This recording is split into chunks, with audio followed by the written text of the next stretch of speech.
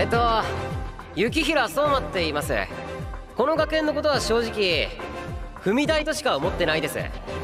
思いがけず編入することになったんすけどまあ要するに入ったからにはてっぺん取るんで。3年間よろしくお願いします。We all have that one anime character that we absolutely despise. For this list, we're ranking the most hateable anime characters of all time. But some of these characters just don't give a fuck about what other people think of them. Hey guys, it's Animan here, and welcome to the channel. Today we are counting down on the top 10 anime where everyone hates the main character. Before we start, be sure to subscribe to our channel, and press on that bell icon, and set us all to be notified about our latest videos.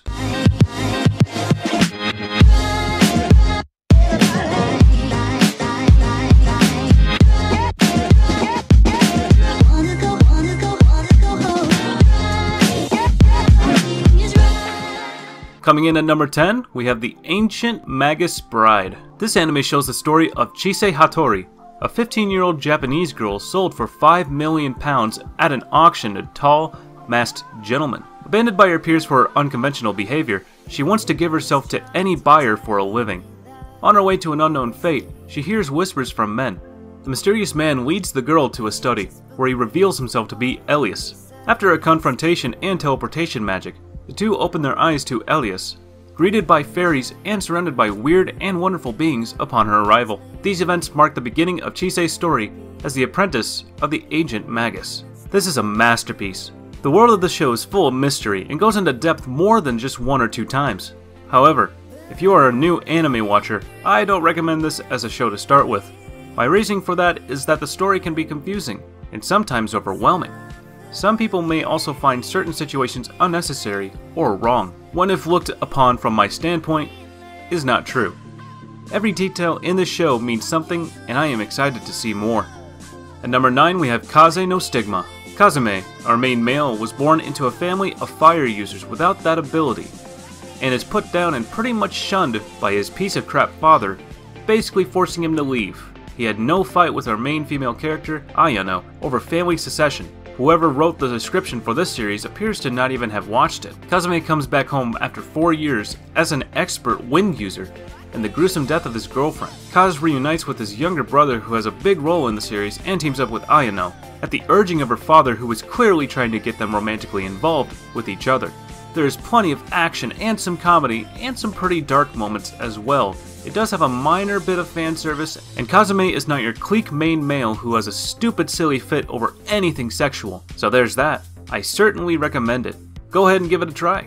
At number 8 we have Scrapped Princess. Pacifica Casull is the most feared and hated person by the followers of the god Mauser. Known as the Scrapped Princess, she is the poison that will destroy the world. To avoid being killed by the zealots of Mauser, Pacifica and her adoptive brother and sister leave the village of Manhurin. Her brother, Shannon, is an expert with the sword while Raquel is proficient with magic. At every step of the way, however, someone is constantly trying to kill Pacifica, hoping to somehow avert the catastrophe that is supposed to befall the world on her 16th birthday. While Scrapped Princess has what can be called a traditional story, it takes some very untraditional twists and turns. There's a lot of emotion here, and we watch Pacifica buckle under the pressure of having this existence thrust upon her, being hunted down like an animal for reasons she is not even certain of. Overall, I am left with very favorable view of this anime. A satisfying ending, great characters, I am sad to see this one end. The story feels very original and delivers a unique cautionary tale about mankind, and his struggles to not destroy himself. At number 7 we have Chrono Crusade. We'll open with representatives of the Magdalene Order, a religious order that hunts demons, going into action. These are our main characters. Sister Rosette and her demonic partner Chrono. We quickly learn that Rosette's younger brother, Joshua, was taken to a twisted version of Shibuya to play a Reaper's game. I mean, he was kidnapped by a demon named Aion. To search for him, she's formed a pact with her friend Chrono, the price being her very life force. The series is excellent. In terms of writing, acting, and animation, it's really exemplary. Chrono Crusade is an outrageous story of love and loyalty, heaven and hell, and should not be missed by anyone that wants to be moved as much as any show can move you, and who wants to experience a truly deep and meaningful storyline with wonderful and real characters. The story is really captivating and keeps the audience looking forward for the next episode. The story stays intact from the beginning until the end. There's almost no made up episodes which are unrelated with the actual plot. Let me reword that. Absolutely no fillers. The plot continues its pace throughout the anime, and the ending is very, very sad. So be prepared. At number 6 we have Oregaru. Now, the story centers around Hikigai Hachiman, a high school student who is shunned by pretty much the whole school. Luckily, this suits him perfectly as he prefers to be a loner and doesn't want to make friends. But his happy life soon crumbles as his teacher forces him to join a club which is supposed to help people with their problems. Even worse, the club also has a smart and beautiful ice cold beauty, Yukino Yukinoshita, nicknamed that for her cold personality. Hilarity ensues. Now, the story basically revolves on the club helping out on people's requests and problems. Although the problems are simple, the way the main characters solve the problem isn't. The comedy usually revolves around Hachiman and Yukino's witty dialogue and sarcasm, which is really funny by the way. How do you feel, or how did you feel when you entered your high school every morning? Were you greeted by an accumulation of friends?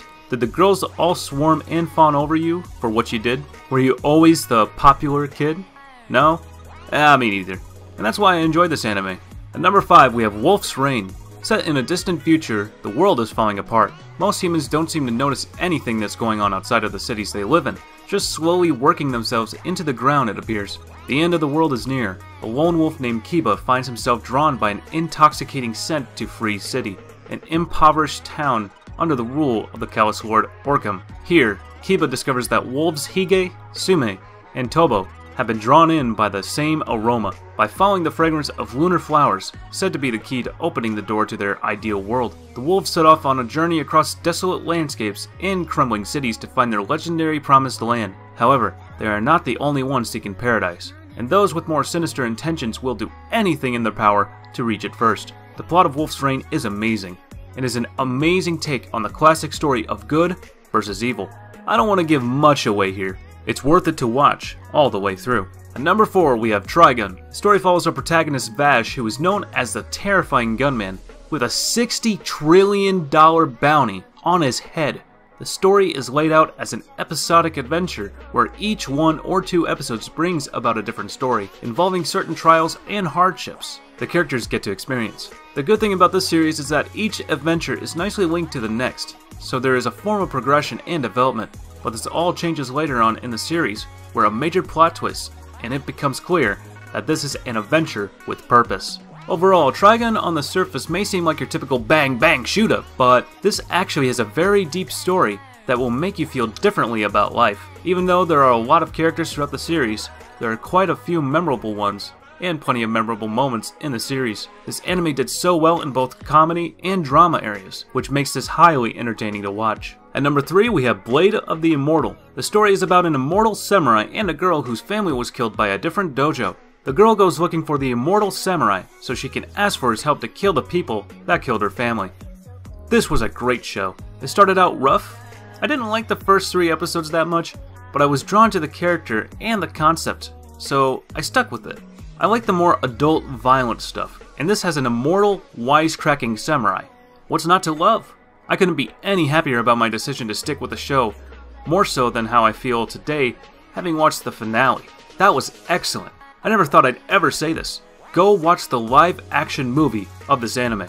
At number 2, we have The Rising of the Shield Hero. Now, you might not be surprised that I have put this anime on the list, because you all know this anime and nearly everybody has watched it. The Rising of the Shield Hero is the most popular in this list. By the way, I didn't want to put this anime on the list, but because of its storyline, I didn't have any choice but to put it on here. You all know that hero was summoned to another world as the legendary hero with some other heroes. Because he was a shield hero, Naofumi is belittled and ridiculed by his fellow heroes, and the kingdom's people due to his weak offensive capabilities and lackluster personality. When the heroes are provided with resources and comrades to train him, Naofumi sets out with the only person willing to train alongside him, Malty Melromark. He is soon betrayed by this bitch, Naofumi then becomes heavily discriminated against and hated by the people of Melromark for something he didn't even do. With a raging storm of hurt and mistrust in his heart, Naofumi begins his journey of strengthening himself and his reputation. I think I don't need to say any more, so go ahead and watch it, if you haven't already. Now coming in in first place, we have the great teacher Onizuka.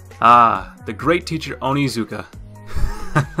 what a great teacher he is. A really original and good anime filled with comedy, action, and a few serious moments. an animation that has given life to one of the most memorable characters I've ever seen. The story of GTO concerns Eikichi Onizuka, a reformed biker gang leader that strives to be a great teacher and meets chicks. The story of the teacher that reforms delinquents has been done countless times, but the story of GTO feels fresh. For one, instead of taking place in a lower class public school district, the students are of a higher class with wealthy parents, and Onizuka doesn't come from the same privileged and sophisticated background as his students, and this provides an interesting comedic dynamic. The story has a few heartfelt moments that's scattered throughout the show, and the only complaint I have with this very story is that it began to feel repetitive near the end with the same Onizuka wants to turn students' life around, but students hate Onizuka. This formula being used over and over again, but although I love it. I hope you guys enjoyed the video. By the way, before you go, please like and subscribe to the channel, and if you want to support my work, then become a Patreon. There's a link down below. This is goodbye until I catch you up with another video.